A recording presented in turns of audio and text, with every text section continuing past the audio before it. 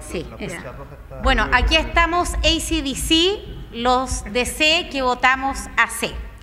Y hoy, desde acá, desde el ex Congreso Nacional, donde creemos que en la historia de Chile ha fluido todo y queremos que siga fluyendo. Así que junto a mis camaradas y demócratas cristianos de todo Chile, eh, los invitamos a ser partícipe de este domingo 17, 15 de diciembre, segunda vuelta, marcar AC. Vamos a leer la declaración pública de C por una asamblea constituyente. Uno, manifestamos nuestro total apoyo a la campaña Marca tu voto, por lo que hacemos un llamado a todas y todos los ciudadanos a participar del proceso del 15 de diciembre y a marcar vota, voto con la sigla AC en la parte superior derecha.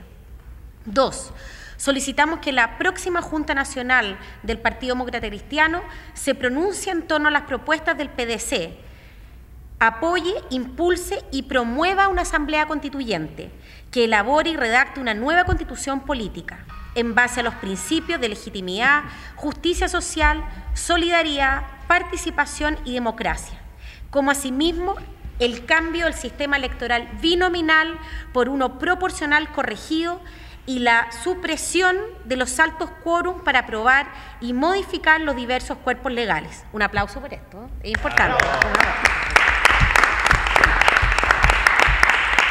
El voto político que se redacte debe contener una propuesta concreta del Partido Demócrata, Cristiano al pueblo de Chile respecto a la estructura, número y procedimientos de trabajo, al mecanismo de elección de los constituyentes, a los plazos para elaborar una nueva constitución y el proceso para que el pueblo refrende la nueva Carta Magna. Tres, Invitamos a todas y todos los demócratas cristianos a impulsar una serie de propuestas políticas que promuevan la Asamblea Constituyente, que elabore una nueva constitución. Nos comprometemos a que en los acuerdos del sexto Congreso Ideológico de la democracia cristiana dicha propuesta estén claramente presentes.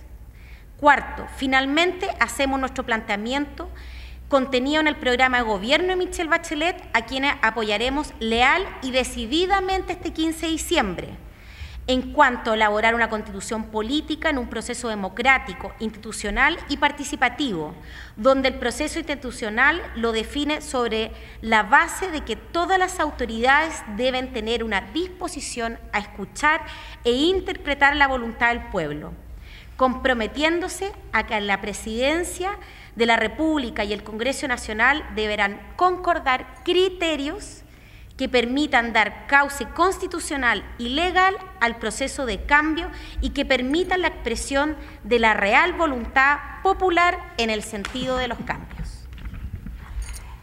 Fue en el Teatro Caupolicán en 1980 cuando el camarada Eduardo Frei Montalva hizo el llamado a convocar una asamblea constituyente Hoy sus palabras resuenan en el alma de los demócratas cristianos y nos obligan a actuar en consecuencia y a no olvidar nunca a nuestro camarada Frey. Dio su vida por pronunciar esas palabras. Nuestro partido volverá a ser de vanguardia cuando sus definiciones sean claras y se actúe consecuentemente. Será definitivamente de avanzada cuando el clamor del pueblo sea el sustento de nuestra acción política. En la confraternidad demócrata cristiana, los adherentes presentes firmamos por una asamblea constituyente.